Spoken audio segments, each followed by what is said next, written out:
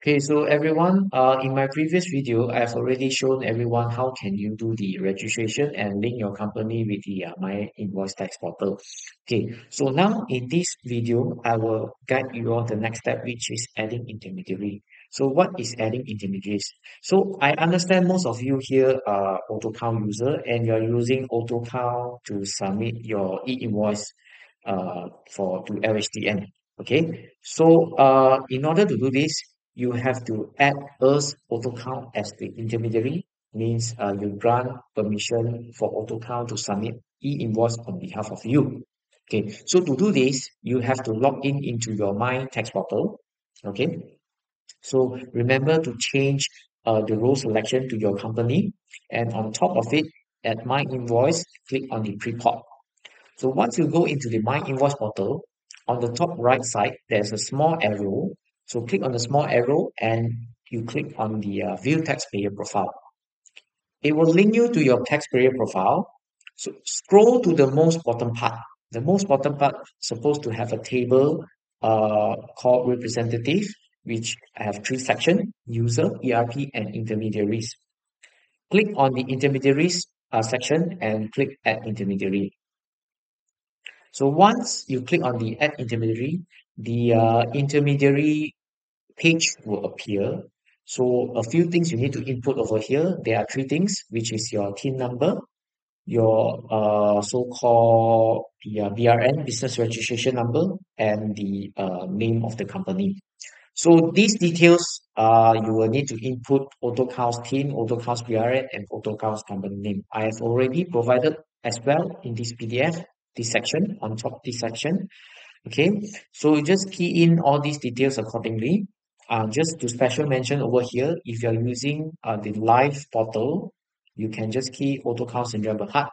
But if you're using the sandbox environment, I do special mention it, mention it over here. If you're using sandbox of MyInvois Portal, use the following name. You have to type this name.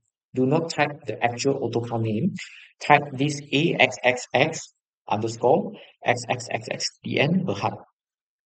Okay, so after you type in this, click the search button. Okay, uh, you will see uh, some status over here. So to show you whether this company is still an active company or not. So just click continue. And the next part is for you to set the uh, effective date and permission. So when you want AutoCount to represent you to submit e-invoice. So usually we will just put today's date because if you let's say you want to set up uh, your connection to AutoCount today, we just put today okay?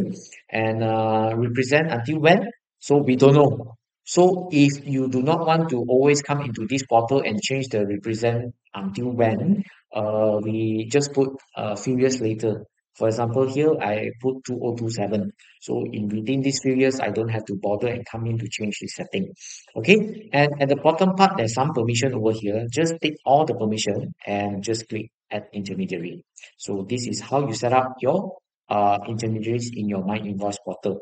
So I can show in the actual uh, portal itself. So this is a MyInvois portal of uh, my company TM Century Solution. So I just need to click on this small arrow over here. So click View Taxpayer Profile. Okay, so the uh, company profile will show uh, your TIN number, your everything, okay. And addresses as well. So scroll to the most bottom part. Okay. And you will see a representative table. So uh click into this intermediary. Okay. Uh and click add intermediary but I already added lah so this one is just for you to see how it actually works so click on this add intermediary you just key in AutoCount uh you know everything so because I already added lah so you just key in, key in the CAPTCHA, search, and you just continue. It will look something like this. Okay, I just edit from my existing one. Uh, it will show something like this. Status, just continue. And you can adjust the representative date from when when.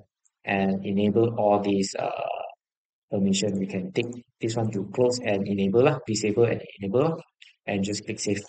Okay, so this is these are the steps that you need to do to add AutoCount as your intermediaries